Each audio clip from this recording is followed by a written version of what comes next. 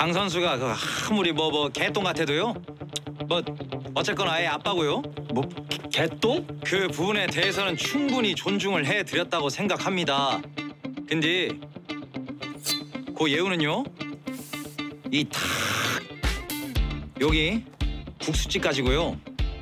이제 질척거리지 마십시다. 야 네가 뭔데? 네가 대체 뭔데 자꾸 낄 때 안 낄 때 못 가리고 씨. 나? 나 현영. 뭐? 너도 알잖아요. 왕년에 잘 나가는 그 올스타도 현역한테는 안 된다는 거.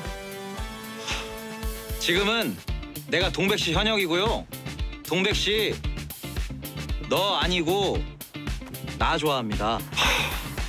동백 씨든 필구든 네가 킵해놓은 네거 아니라고. 아이고 완전 정신 나간 새끼네. 야, 네가 뭔데 내 새끼를 우는해? 동백 씨, 동백 씨 똑똑히 잘 들어요. 예? 앞으로는 강종렬하고 잔치국수 먹지 않습니다. 둘이 잔 놓고 같이 앉아 있지도 않습니다. 그리고요 가게에 절대로 발 들여놓게 하지 않습니다.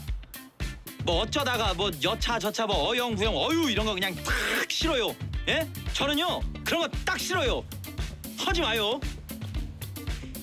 그리고 동백 씨랑 그거 한 저로서는 이런 말할 자격 충분하다고 보고요. 그게 뭔데? 그게 뭔데? 그리고 저 진짜 그냥 아주 그냥 무지막지하게 질투 많은 놈이니까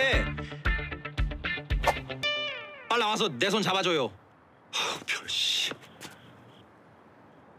아 빨랑 빨랑 켜와요 빨랑 빨랑 내 손 잡아줘요 빨랑.